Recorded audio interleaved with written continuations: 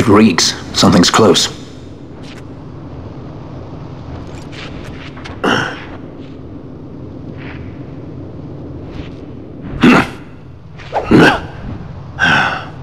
nice moves there, Captain. You mean traitor? So they say. But I didn't see him kill anyone. My brother did.